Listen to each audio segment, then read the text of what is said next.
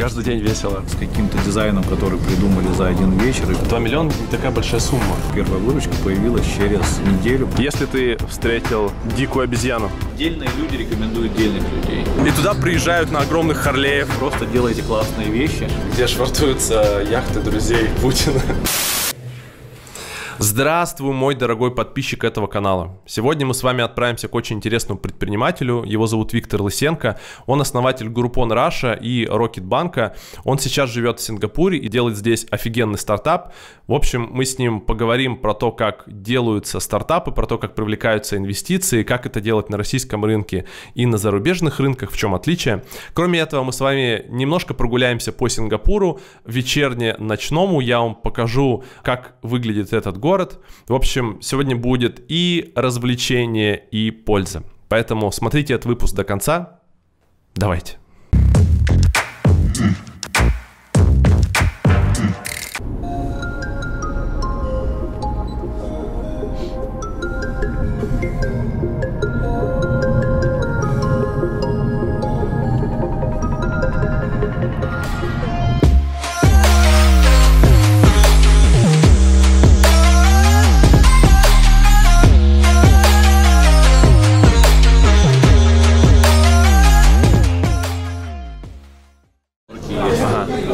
Ты сколько, сколько здесь компаний сидит? Знаю, с десяток на этом этаже, наверное. Вот только сегодня ребята приехали. Ага. Мы вот там в углу сидим.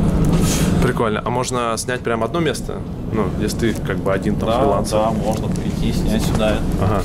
Очень удобно. Вот такие есть. Диванчики, тут можно разговаривать. Там вот будки для переговоров. Ага. Удобно. Можешь сказать, что тебе нравится в Сингапуре, что не нравится в Сингапуре? Что нравится в Сингапуре? Здесь хорошо делать бизнес. Здесь очень удобно и просто это делать. Здесь очень классно сделана вообще вся инфраструктура. Я имею в виду вот как город, бизнеса. как страна, не только для А, бизнеса, вообще вообще, вся. для жизни. Да. То есть тут идеально подстриженные газоны, деревья, посаженные клумбы, автобусы ездят по расписанию, там хорошее метро и так далее. А очень доброжелательные люди. Вот я здесь ни разу не встречал никакой агрессии. То есть я просто не видел, чтобы кто-то на кого-то там знаю, повышал голос, кричал или там, не знаю, драка тем более. Да. То есть вещи, которые ну, в Москве приедет на любую конечную станцию метро, и ты попадешь в поле агрессии. Каждый день весело. Каждый день весело, видно, да, что люди друг к другу относятся не очень хорошо, а здесь такого нет, здесь очень доброжелательно и спокойно. А, это хорошо влияет Ага. на, как бы, и, и на самочувствие, и на нервы, и на как бы, возможность фокусироваться на главном. Хороший климат. Поначалу кажется, что жарко, но за 2-3 месяца организм привыкает. А Вот, и уже начинаешь думать, что когда температура опускается до плюс 26, думаешь, сегодня прохладно, надену с длинным. Вчера так было. Да, такой. Когда первый раз прилетаешь, выходишь из самолета, не кажется, что так будет, оно вот так случается.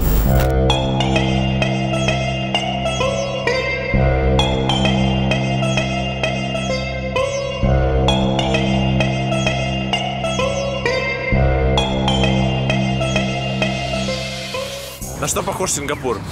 Вот смотрите. Вот это большие торговые центры, бизнес-центры.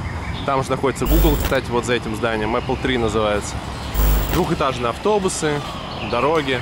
Вот, кстати, кондо, в котором мы живем, Interlace он называется. А здесь же джунгли практически. И вот по этому мостику можно прям с дороги, так пам-пам-пам-пам-пам-пам-пам, пам-пам-пам-пам, дойти сюда. И сейчас мы с вами пойдем прямо в такие классические джунгли. Здесь даже была надпись «Обезьянок э, диких кормить не рекомендуется» и вообще инструкции, что делать, если ты встретил дикую обезьяну. Вот в этом Сингапур. На этом острове когда-то, не так давно причем, э, были просто джунгли. Это был один такой большой тропический лес. И теперь вот кусочки тропического леса остались, но здесь очень современный большой прикольный город, кроме этого. Мы с вами пойдем дальше, посмотрим, что там есть. Awesome. Это такой гибрид чат-бота, который помогает с юридическими вопросами, с бухгалтерскими вопросами, такой некий консалтинг делает. Правильно понимаю, если так кратко? Ну, скажем так, мы себя воспринимаем как сервис, который помогает, в первую очередь, как сервис, который помогает предпринимателям развивать свой бизнес, ну, стартовать и развивать, да, то есть это регистрация mm-hmm. компании, это бухгалтерия, это выплата налогов, зарплат, корпоративные секретарские услуги и так далее. И дальше будем этот спектр только расширять. Ну и во вторую очередь это чат-боты, потому что, ну, как бы, ну, мы не про чат-боты, мы про то, как сделать хорошо предпринимателям просто. Да один из способов, как мы ее решаем, это использование роботов. Они помогают взять на себя рутину, и наши бухгалтеры, наши секретари могут делать меньше работы, могут фокусироваться на бизнесе клиента и на каких-то его особенностях его работы, а роботы делают всякую, всякую рутину. Поэтому для нас в первую очередь это сервис для предпринимателя, а во вторую очередь это уже всякие технические штуки, как мы эту проблему решаем. Это больше как бы такой, скорее, сервисный бизнес, что-то да. похожее на кнопку, да. если в России, да? Да. И он масштабируемый при этом. Да, если он, он все-таки он, сервисный. Да, да. да, он очень масштабируемый. Угу. Мы сейчас мы запустились в январе да, в этом году. А сейчас мы регистрируем уже примерно 1% всех компаний в Сингапуре. Это очень круто. Да, это много. Да, это много. А через год думаю, что это будет еще в разы больше. Угу.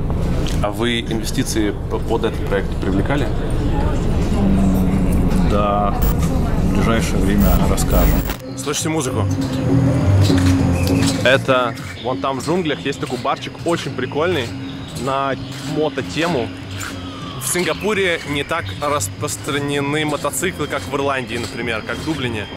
Но есть люди, которые не могут жить без мотоциклов, и они даже сделали целый бар. Там все на мототематику. И туда приезжают на огромных Харлеев местные байкеры. Очень прикольно. Вот видите, если через эти заросли туда прыгнуть и пролететь через них, то вон там, где такое светится место, это есть этот барчик. Слушай, вот я как раз хотел про это поговорить немножко, про инвестиции и про нетворкинг. Я читал твою биографию, там, наверное, первые серьезные деньги были после Дарбери и Грубона продажи, да? Да. А потом я заметил, что вы первые инвестиции в Рокетбанк это были 2 миллиона долларов. Правильно? Ну, не, вот. нет, не первые. Там какие-то самые первые фаундеры инвестировали. Это были сотни Ваш, тысяч. Ну, вы, вы сами инвестировали, а потом привлекли 2 миллиона. И для меня вопрос, 2 миллиона не, не такая большая сумма. А зачем нужно было привлекать в том случае?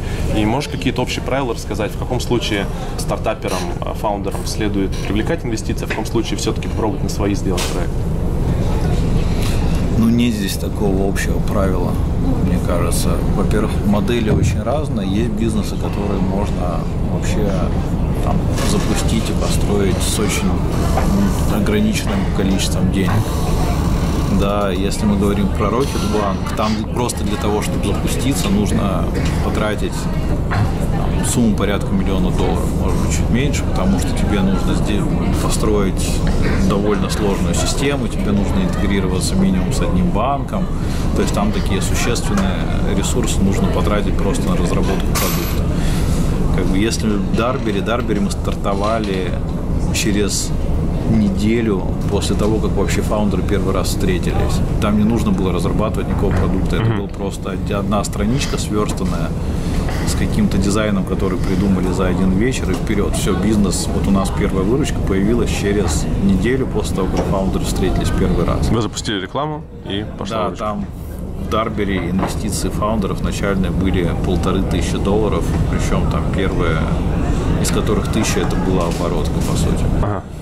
Вот. А с Рокетбанком мне там нужно было до, до первого дня, как мы привлекли клиентов, нужно было потратить там, миллион долларов.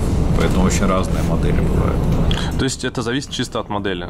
Э, если нужны на старте инвестиции, то надо да. привлекать. А если есть возможность, например, на свои сделать, то в какой вот где-то точка, то же самое вот Максим Спиридонов, Нетология Групп, они же сделали эту большую сделку с э, Мордашовым, и он в интервью, которое я смотрел, рассказывал, что он не понимает точно пока, правильно это решение было или нет.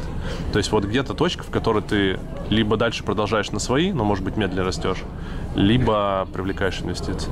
Я думаю, что это во многом зависит от трех вещей. Юнит экономики, динамики э, самого проекта и не знаю, там, амбиций и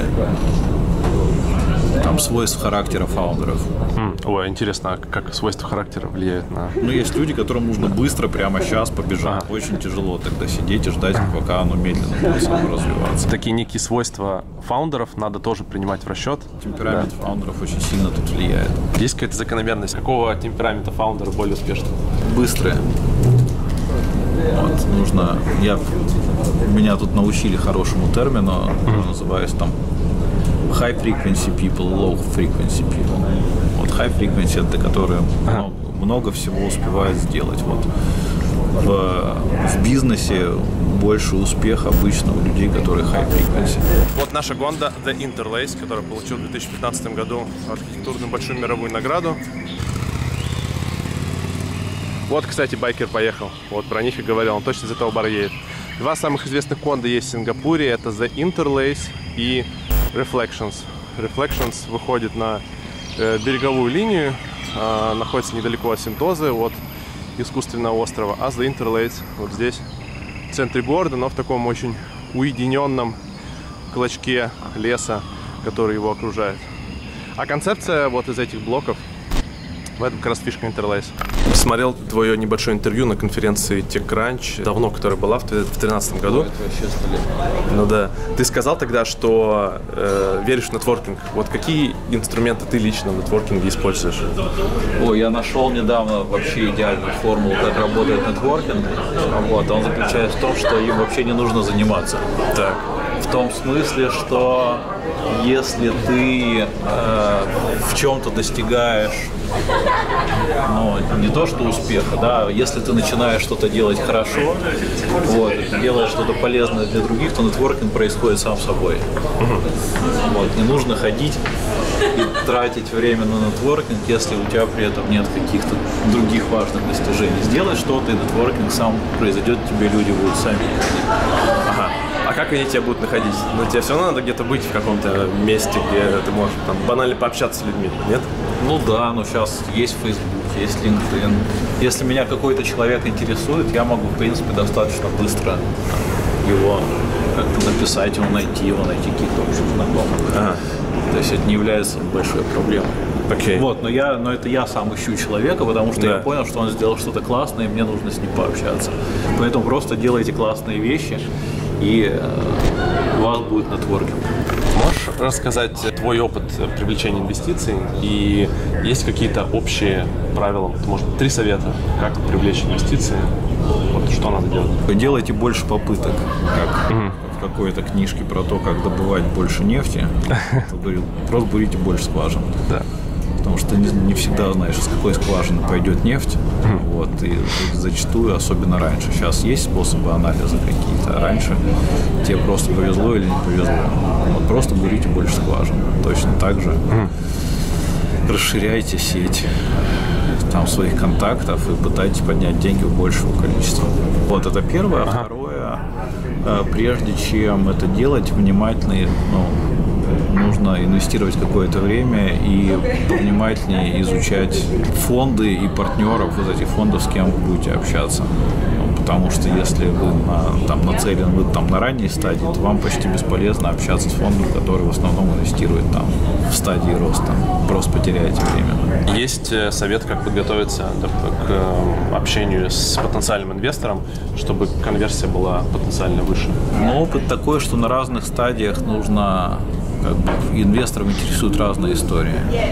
А вот если вы на совсем ранней стадии, то нужно условно продавать команду, потому что инвесторы, в принципе, опытные, они понимают, что бизнес-модель еще может 10 раз поменяться, uh-huh. цифр у вас никаких нет, у вас, кроме команды, у вас ничего нет. Поэтому в первую очередь продавайте команду, ну и хорошо, если вы придете к инвестору уже с каким-то сделанным MVP, с какими-то тестами, которые показывают, что, как бы, что ваша первая, по крайней мере, гипотеза продукта работает. Угу. Вот, на более поздних стадиях, там, на стадии роста, ну, нужно продавать цифры. Что не делать, не на это фокус. Если ты встретил дикую обезьяну, первое, не кормить ее. Штраф 5000 долларов сингапурских, это 250 тысяч рублей, чуть меньше. Сразу убирать пластиковые пакеты, которые ты несешь. Не использовать вспышку на фотографии и просто не ходить рядом с дикими обезьянами. Вот такие советы. Слушай, а как ты фильтруешь людей? То есть у тебя много бизнес-достижений, э, у тебя больш, большая сеть контактов, ты много людей знаешь, и наверняка входящий поток тоже большой, и операционки mm-hmm. много. То есть есть у тебя какие-то методы, по которым ты фильтруешь входящих людей? Дельные люди рекомендуют дельных людей. Ага. Вот. В этом смысле network как фильтр работает очень хорошо. То есть э, вот те самые introductions, да, представления, почему они хорошо работают, потому что если они идут от людей, которым человек доверяет, то у него... Ну, кроме, это... уров... кроме уровня доверия, люди, которые чего-то достигли, угу. вот, им обычно интересно общаться с людьми такого же типа. Ага. А вот, поэтому они ищут людей, примерно таких пирс, примерно вот, которые так, такого же уровня, как они, и поэтому от них приходят контакты намного более высокого качества обычно. Окей. Okay. А если говорить про такие твои, твое личное общение, например, в Сингапуре, есть у тебя круг людей, с которым ты поддерживаешь отношения, просто общаешься, даже не по работе? Есть, да, но он здесь очень небольшой, он здесь еще меньше, чем в Москве. Ага. И в Москве был небольшой? В Москве был небольшой, да. Ага. Здесь еще меньше. А это связано с твоим таким психотипом? Ну, скорее, да, скорее, скорее с психотипом, склада ума, и здесь я, ну, вот я сейчас сфокусирован на проекте. Обычно, когда ты что-то запускаешь, то первые 2-3 года это прям да, так, такой ты рубишься. Потом, потом, да, совсем жестко. Потом становится немного попроще, но первые там 2-3 года обычно это супер жестко. Ага. Вот, поэтому просто не хватает времени на другие дела, но это неправильно. Угу. Так лучше не делать. Потому что у тебя даже в Фейсбуке стоит э, на аватарке э, сейлинг, там типа фотографии, где ты плаваешь, где ты на, на виндсерфе катаешься. Это у тебя... Да, это... Ну, уделяешь этому время в жизни? Или сейчас пока Ну, очень немного. Раньше было больше. Это меня Митя Репин, который делал Digital October. Который в Барселоне сейчас. Да, который в Барселоне. Да. То он меня подсадил на, на яхтинг. Мы вместе довольно много ходили. И это ну, супер впечатление. Каждое, каждый такой поход это супер впечатление. Да. Но здесь как бы сейчас пока нет, сейчас нет, а. пока нет, но надо, конечно. У меня прям подохла яхтенная школа, надо пойти получить наконец-то корочки капитана. Да. Где швартуются яхты друзей Путина. Да. Это как я смотрю по Фейсбуку. Мы еще врезку такую сделаем. Посмотрите пост. Видите, за деревьями а, такие небольшие двухэтажные дома. Это дома в колониальном стиле. Их довольно мало осталось Сингапуре. И эти дома, чтобы снять, надо выиграть конкурс, потому что они все охраняются государством, а поэтому просто так их нельзя арендовать. Это считается одним из самых статусных видов недвижимости в Сингапуре. Как ты видишь отличие, допустим, американского классического рынка, сингапурского? Ну, про российский, не знаю, стоит, не стоит говорить, но, наверное, не, не такое большое в сравнении. Здесь разница такая, что если в Соединенных Штатах ты что-то запускаешь, тебе доступен огромный рынок сразу большой, там 250 миллионов людей, которые, mm-hmm. если ты не занимаешься продажей там каких-то специфических вещей, типа алкоголя, марихуаны или чего-то такое, для чего нужно разрешение в каждом отдельном штате, то ты запустился и тебе весь рынок доступен. В Европе в этом смысле похуже. Европейский рынок он побольше, но там все равно есть разные страны с разными языками, с разным регулированием, с разными правилами, с разными привычками людей. Но Европа все-таки довольно гомогенна в этом смысле, потому что уровень дохода у людей более-менее одинаковый. Да. В принципе, европейская культура, она довольно как бы общая религия у всех примерно одинаковая, раз, различия не очень большие, при том, что даже в, Евро, ну, вот в Европе развивать бизнес сложнее, чем в Штатах, именно из-за того, что там есть вот такая фрагментация, и тебе нужно каждому рынку приспосабливаться. А в Азии это умножить на 10.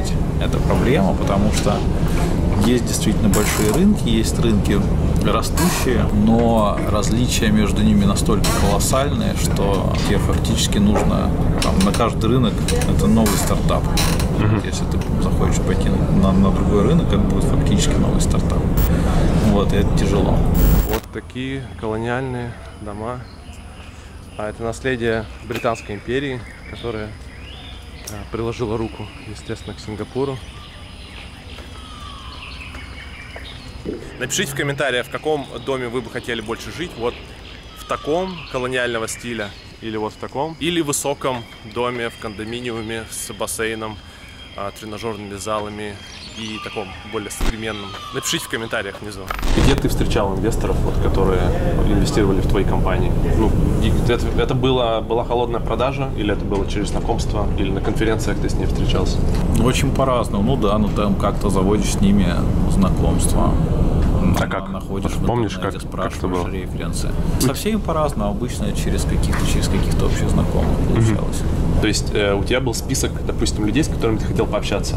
Либо ты рассказывал своим знакомым о том, что вот у тебя есть идея, ты хочешь привлечь инвестиции, и как, как случайно получалось, что они тебя там кому-то представляли.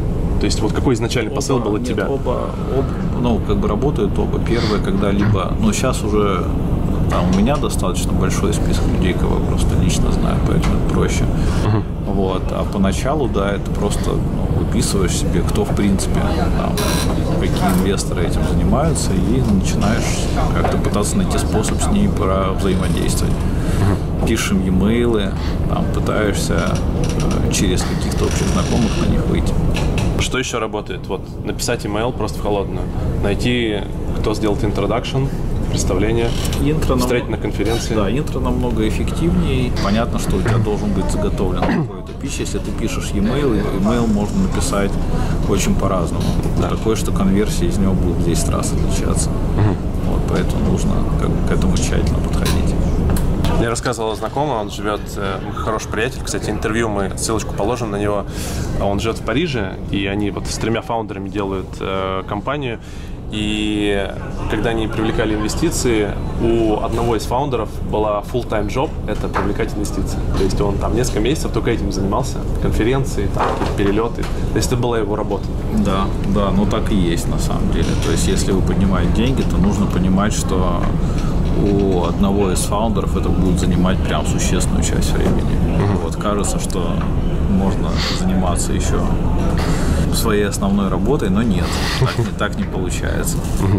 Вот, поэтому я, например, ненавижу эти периоды, когда нужно поднимать деньги, потому что в этот момент ты не можешь фокусироваться на вещах, которые ну, реально кажутся более важными. Люди, которые у тебя работают, продукт, там, клиенты, тебе приходится от этого отрываться и заниматься какой-то фигней. Поднимание денег. Прислушайтесь, начало уже темнеть и Слышите, как на даче в детстве. Много животных. Трещоточки, лягушки. Класс. Maple – это комплекс зданий. Это компания, которая владеет бизнес-центрами. В том числе вот Maple 3 – это бизнес-центр, где находится Google. Ну и у них разные здания в их владении. Про личный бренд пару вопросов. Считаешь, что личный бренд фаундера это важно? И, например, как делает Тиньков, он такой front-end, который привлекает трафик на свой личный бренд. Э, бизнес-модель это или это не обязательно? Во многих случаях это полезно. А, но в любом случае, вот если ты занимаешься каким-то предпринимательством, то для тебя э, и, ну, иметь возможность на, привлекать деньги, получать себе в команду каких-то людей хороших и так далее. Это во многом Э, достигается тем, что есть какой-то у тебя бренд, есть какое-то представление людей, те, которые помогают это делать. Вот, в этом смысле, конечно, это супер важно. Ну и вообще предпринимательство обычно предприниматели очень контактные люди, которые, которые ну, вынуждены просто много да. общаться, потому что нужно перенимать много опыта, нужно там ну, людей к себе искать и так далее, команда. Вот, поэтому без этого точно не обойтись. А что-то на Ютубе смотришь? Есть на это время? Стараюсь, да. А что смотришь? Интересно смотреть выступления предпринимателей на английском. Можно назвать имена? В основном на английском языке. Есть в Стэнфорде, у них есть хорошая серия угу. курсов, когда они приглашают всяких ребят из стартапов к себе, и они выступают перед студентами, рассказывают про свой опыт, и этот записывает, и можно на YouTube посмотреть. Там я посмотрел просто несколько суперинтересных штук для себя полезных. Круто, положим ссылочку. А еще что-то? На русском ничего не смотришь? На русском очень мало смотрю. Виктор, спасибо большое. Очень рад познакомиться, пообщаться. Взаимно. Взаимно. Всем привет. Как видите, уже почти стемнело. Мы пойдем уже домой, потому что плохо видно. Лизу кусают комары. Вот там еще пару видов Сингапура.